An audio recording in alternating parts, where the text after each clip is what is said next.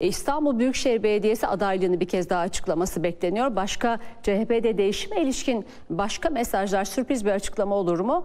Ee, yine döneceğiz ve e, sizlerle de paylaşacağız bu konuya ilişkin açıklamaları. Şimdi kaldığımız yerden devam edelim. 14 Ağustos'ta kırılan e, yüksek e, sıcaklık rekorlarından bahsediyorduk.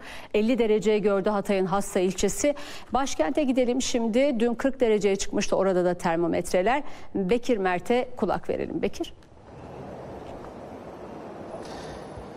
Türkiye 8 Ağustos'ta özellikle 8 Ağustos'a kadar eyyamı bağır sıcaklarının etkisi altındaydı. 8 Ağustos'ta o sıcaklıklar yurdu terk etti ama bu kez Basra sıcaklarıyla mücadele başladı. Aslında en sıcak günlerden geçiyoruz. Meteoroloji de uyarıyor. Vatandaşlar da kendilerini korumak için o sıcak havadan korumak için genellikle gölgelik alanları tercih ediyorlar. İbrahim Tozbey de ekranlarınıza getiriyor. Ankara'da Kuğulu Park burası Çankaya'da Kuğulu Park'ta yine vatandaşlar o sıcak havadan e, kendilerini korumak için gölgelik alanlara akın etmeye başladı. Aslında e, oldukça sıcak günlerden geçiyoruz ve o sıcaklık biraz daha artacak. Meteoroloji de uyarılara devam ediyor. Özellikle sıcak havanın daha fazla artması bekleniyor. Bu hafta hafta sonuna kadar da e, sıcaklıklar bir süre daha devam edecek. Özellikle 6 ila 10 derece üzerinde Marmara, Ege haricinde tüm yurtta 6 ila 10 derece o sıcak hava kendini gösterecek. Yine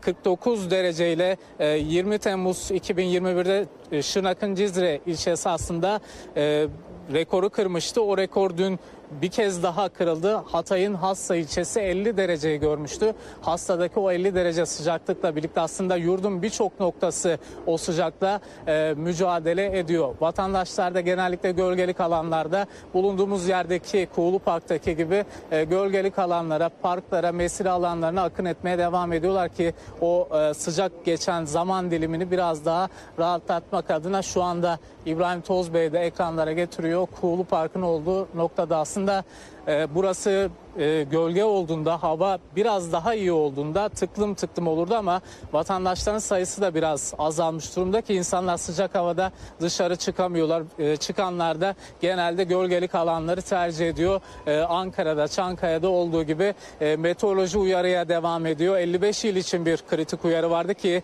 Ankara'da şu anda o termometrelere e, sıcak durumuna bakacak olursak Ankara'daki e, sıcaklık durumu şu an itibariyle termometrede 37 derece tabi hissedilen sıcaklık biraz daha yüksek olduğunun altını çizelim. Gece saatlerinde dahi başkent Ankara'da o sıcak hava kendini hissettirmeye devam ediyor. Meteorolojide uyarılara devam ediyor. O sıcaklık bir süre daha kendini göstermeye devam edecek. Hafta sonu kritik hafta sonuna kadar e, meteoroloji 55 il için kritik bir uyarı yapmıştı. 40 dereceyi aşacak deniliyor bu sıcak hava ki dün Hatay'da Hassa'da 50 dereceyi gören bir sıcaklık ölçülmüştü. Bu noktada vatandaşlar için de aslında uyarı, kritik bir uyarı yapıldığının altını çizelim. Daha fazla e, kronik rahatsızlığı olan vatandaşların bu sıcak havada dışarı çıkmamaları isteniyor. Daha fazla çıkanların da gölgelik alanlar alanlarda e, vakit geçirmeleri isteniyor diyelim. Sözü yeniden İstanbul'a size bırakalım.